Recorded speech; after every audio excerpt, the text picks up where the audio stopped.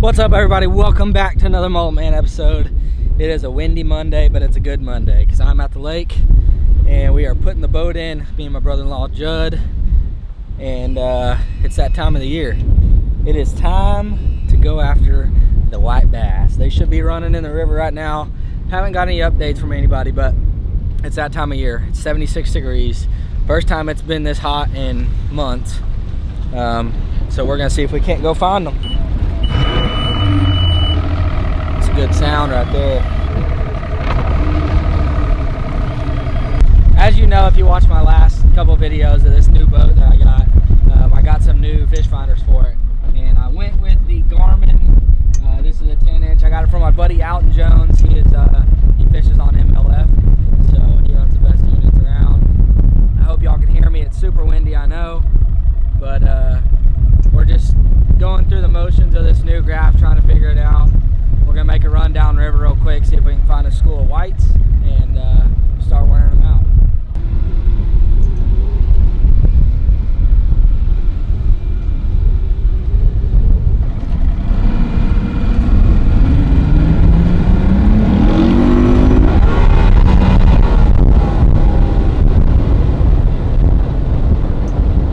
guys so we made it down here to the river uh, we just got a lot of rain last week so before that it was even more shallow than it is now but me and judd you can see over there jeff and uh, ronnie are fishing over there but you can see past them there's a little rapid there's little rapids and uh, we pushed past it to try to get to the fish that are beyond that but it was just so shallow all the way down to that uh, that bend in the river. So came back down here and um, started catching a few fish so we're gonna fish a little longer get some more for dinner but we got we got five or six good ones so we're gonna see if we can't get a few more on the boat the run has not started fully yet um, but we have found some fish so can't complain about that we're gonna see if we can catch a few more and then uh, eating fresh fish for dinner throwing a little uh throwing this little guy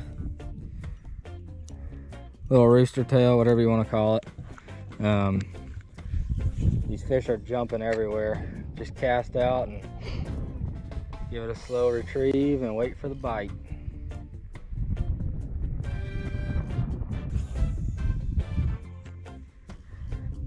Jeff's wearing them out. Jeff, I'm gonna have to come steal your hole.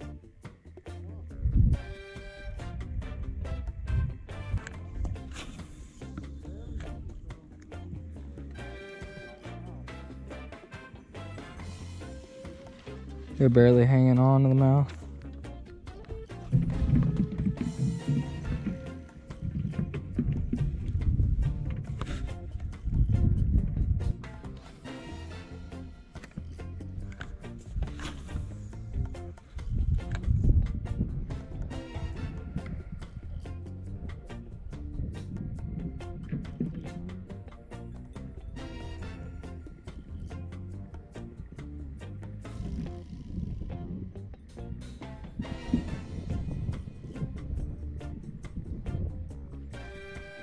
Oh!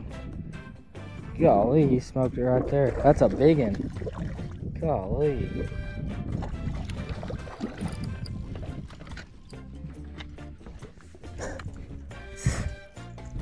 Looks like a hybrid.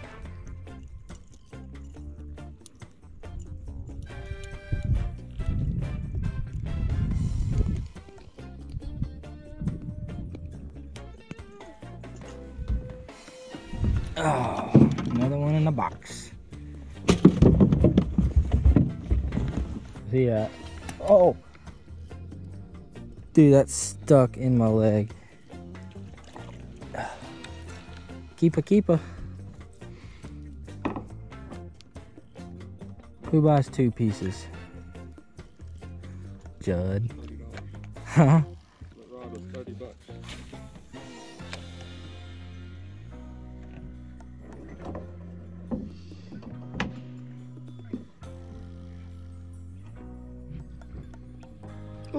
There he is.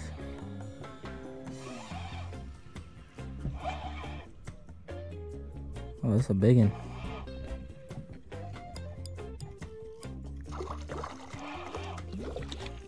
Dude, some of these are chunks.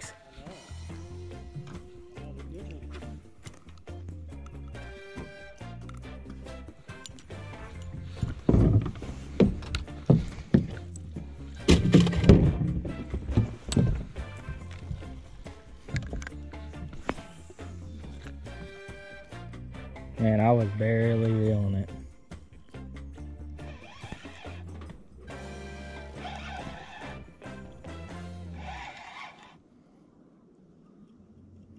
Big old sucker.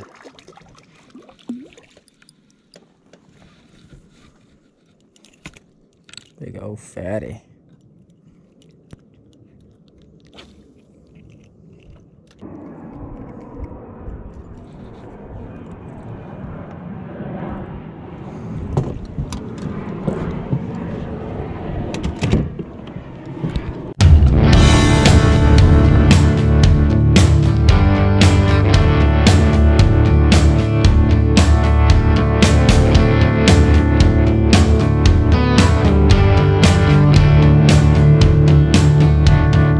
We are back at the house, about to clean up these fish, make some dinner. I think I'm gonna do some blackened fish. So, show you how to clean one of these guys right here.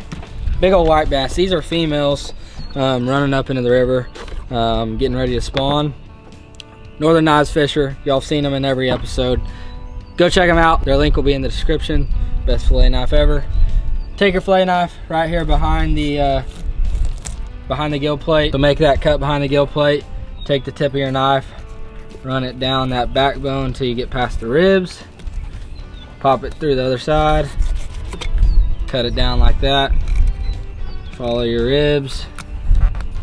Cut through a few pin bones. Just like that. That's one side knocked off. Let's get the other side. That's a male. So this is a big male. I said female. That is actually a male. Same thing on this side. Run your knife down the backbone, up those ribs, down the other side, cut through. There is your two fillets. Now all you gotta do is knock the meat off the skin. Sharp knife makes it an easy job and that is your skinned out fillet.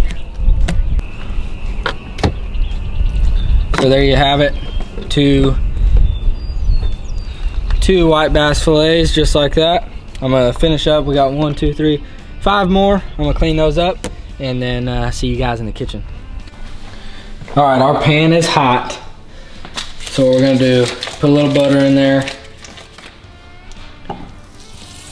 Little butter and a little bit of Texana Brands garlic infused olive oil.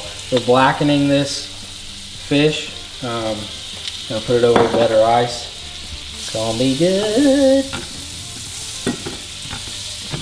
All right, so you want your butter and your oil to mix together.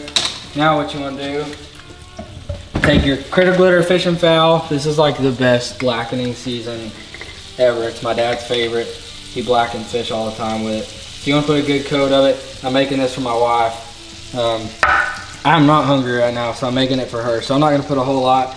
Um, the more you put, the better the blackening is, but she doesn't like too much because it does get spicy um, the more you add. So season that up, get that butter and olive oil moving around in your pan. Set these two fillets in there, just like that. And then we're gonna throw in some onions as well.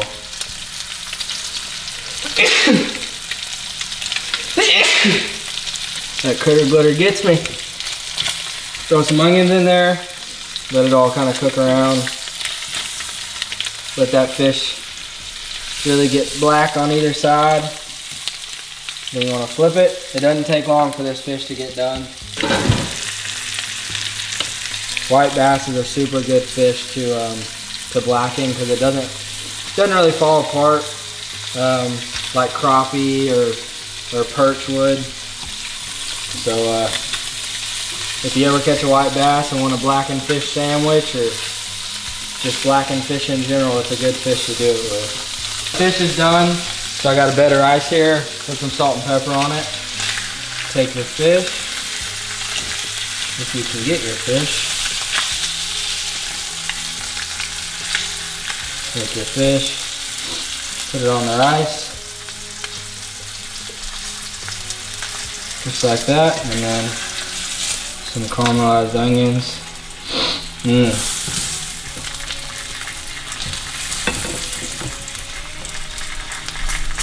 just like that. Now this is a pretty bland looking dish, but she doesn't want to be on camera, so I'm gonna taste it for her, even though I'm not hungry.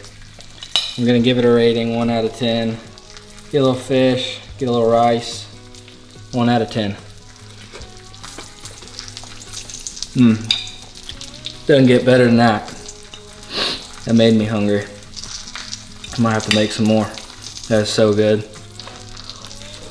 White bass, that gets a solid, that gets a solid eight and a half. That is so good. I'm gonna let her finish her dinner, so. Let me know what other recipes y'all would like to see. Um, if y'all have your favorite recipe, leave it in the comments. I wanna try out some new recipes. Um, do some recipes that you guys would like to see. And leave a comment if y'all would like to see a cookbook from Mullet Man, all the recipes that I do with wild game and stuff like that, leave it in the comments. Uh, that may be in the works already. So leave in the comments what y'all would want to see in that. And uh, until next time, make sure you hit that subscribe button, hit the thumbs up, and eat good.